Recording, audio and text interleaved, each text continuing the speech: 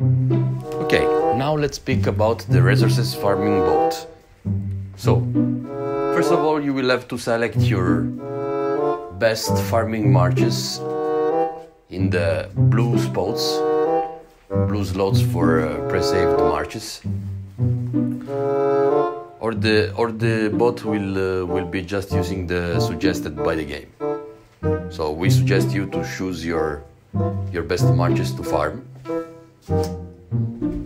Once you've done it, you are ready to set your bot. You will have to click on the resource farming setting wheel, and there you will have to choose how many of your troops should farm food, wood, stone, or gold. If you keep the bot aligned for one whole day, you will have approximately, approximately 50 million food food and around 30 million, 20 million of stone or gold.